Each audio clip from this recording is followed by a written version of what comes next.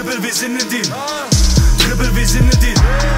Dribbel, wir sind in den. Dribbel, die Sissis, wir sind in den. Dribbel, wir sind in den. Dribbel, wir sind in den. Dribbel, wir sind in den. Chatars Debüt Alles oder Nix ist in Hip-Hop-Kreisen inzwischen Kult. Jetzt liefert der Bonner die Fortsetzung Alles oder Nix 2. Der Alpha-Tier-Rapper erzählt Geschichten zwischen Knast und Freiheit, die stets glaubwürdig rüberkommen. Leider verliert der Barber aller Barbers dabei viel von seiner früheren Lockerheit. Ein burschikoser Auftritt, dazu viel Sinnlichkeit und Charakter. Eloise Letizier alias Christine and the Queens ist inzwischen eine große Nummer in der Indie-Szene. Mit Chris legt die Französin jetzt endlich ihr zweites Album vor. Es ist eine coole Platte, aber nicht so cool wie das Debüt vor vier Jahren.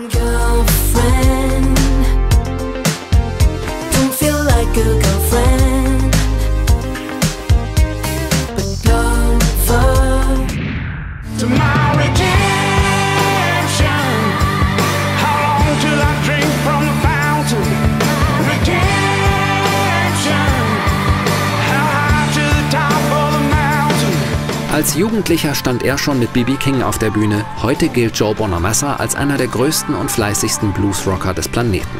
Jetzt gibt es endlich mal wieder ein neues Studioalbum, das Redemption heißt und zeigt, bei dem, was er macht, ist Joe Bonamassa im Grunde konkurrenzlos.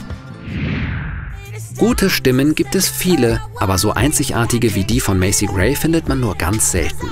Die größten Erfolge des RB-Originals liegen einige Jahre zurück, aber Macy Gray ist immer noch da und wie man auf Ruby hört, ist sie immer noch eine Meisterin ihres Fachs.